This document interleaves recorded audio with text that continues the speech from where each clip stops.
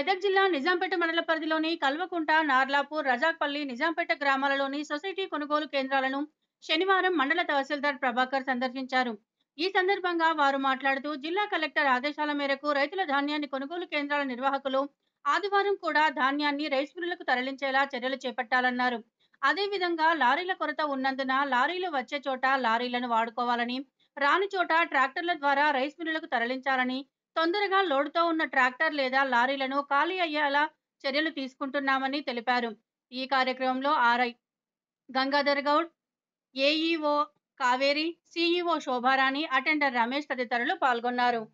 ఈ ఆదేశాల ప్రకారము మండలంలో పట్ల ఉన్నటువంటి ప్యాడీ పర్చేస్ సెంటర్స్ అన్నీ కూడా ఈరోజు చాలా మటుకు విజిట్ చేయడం జరిగింది.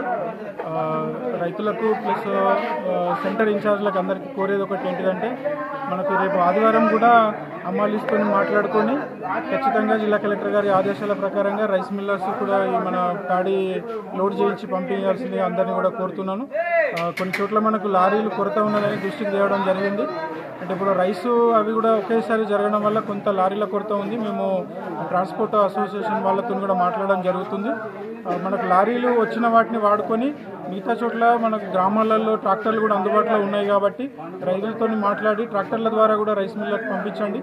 మేము రైస్ మిల్లర్స్తో మాట్లాడి అవి అన్లోడ్ చేసుకునేలాగా మేము వాళ్ళకు ఆదేశాలు ఇవ్వడం జరుగుతుంది. మేము అది మా వైపు నుంచి కూడా మానిటర్ చేయడం జరుగుతుంది. Thank you